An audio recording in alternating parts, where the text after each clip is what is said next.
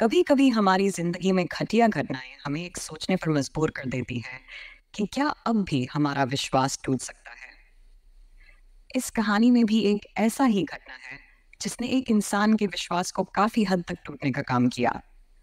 ये कहानी एक लड़के और एक लड़की के बारे में है, जिन्होंने अपने प्यार को बढ़ावा देने के लिए एक दूसरे के साथ रिश्ते में पूरी तरह से विश्वास किया। उनका प्यार था जैसे कि कोई बाधा नहीं, लेकिन एक दिन उनकी ये प्यार भी एक बड़ी चुनौती का सामना करता है।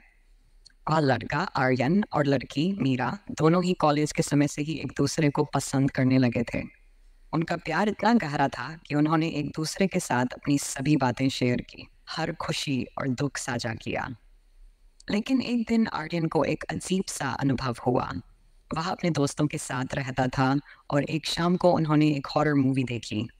मूवी का दौरान उसने कुछ गर्मियों की अनुभूति की, लेकिन वह इसे ध्यान नहीं दिया। जब उसने घर लौटकर बिस्तर पर लेटने की कोशिश की तो उसे वही गर्मियाँ महसूस हुई। धीरे धीरे गर्मियों की संख्या बढ़ने लगी और वह अजीब से स्वभाव वाले स्तर पर पहुँच गया। उसका दिल धड़कने लगा और उसके शरीर में डर की लहरें दौड़ने लगीं। उसने चेहरा बुरका करके बिस्तर से उठकर रोमांचक मूवी की गड़बड़ी की प्रक्रिया को याद किया, लेकिन वहाँ कुछ भी नहीं था।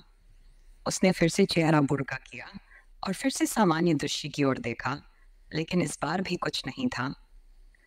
उसने सोचा कि शायद वह सपना था और उसने फिर से लेटने का प्रयास किया।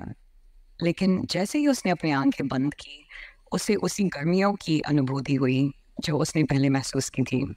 उसने अपनी आँखें खोली और फिर से सामान्य दृश्य की ओर देखा, लेकिन इस बार भी कुछ